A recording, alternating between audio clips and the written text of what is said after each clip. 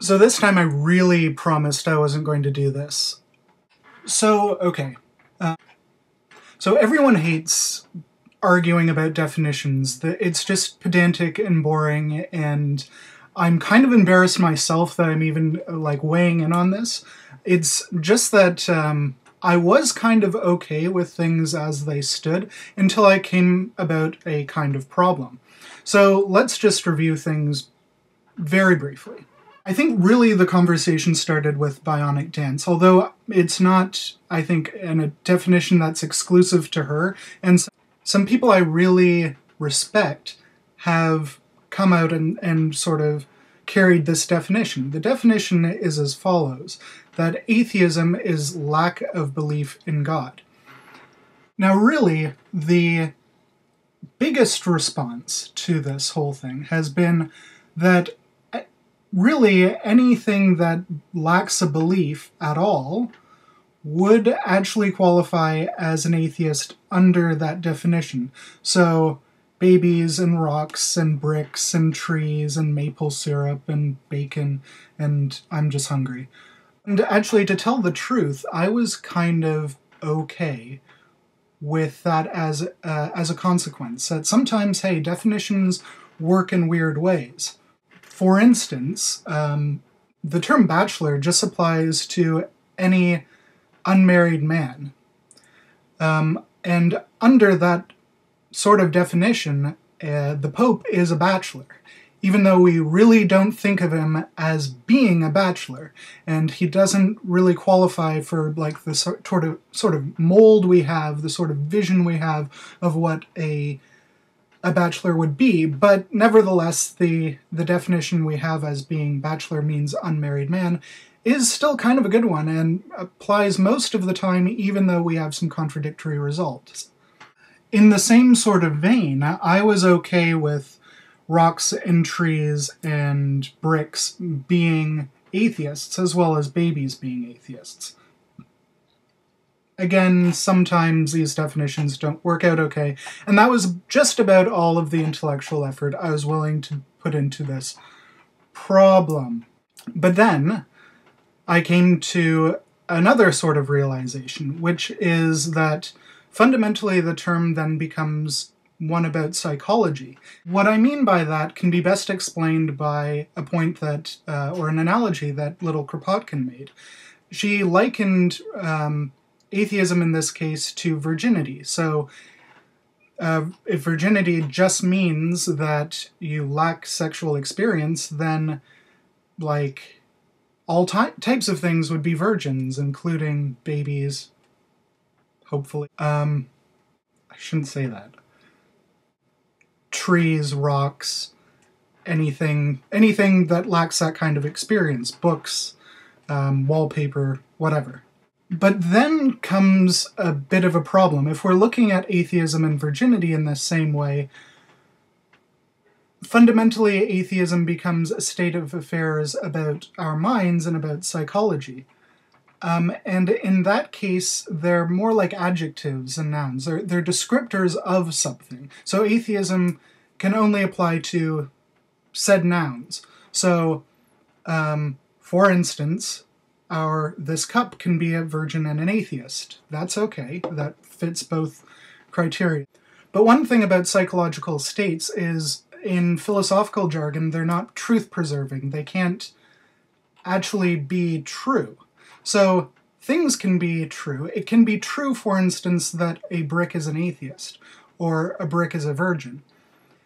But it's kind of weird to say that virginity is true.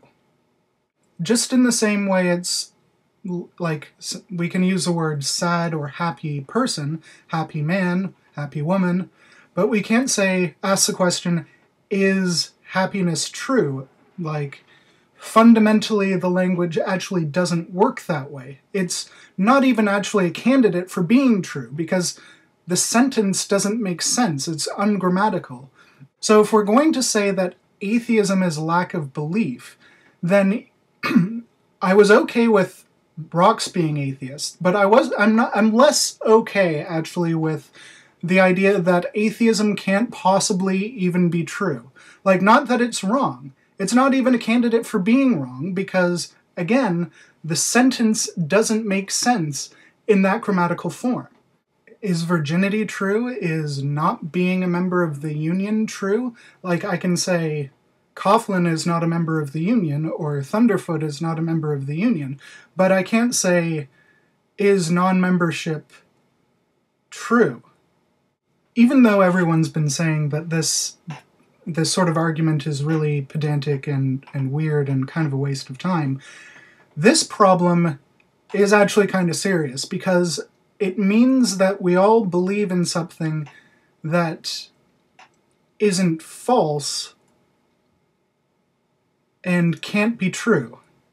So we can no longer have debates around whether atheism is true because that's no longer like grammatically even a sentence. And to me that is kind of important. I like ideas that at least could be true.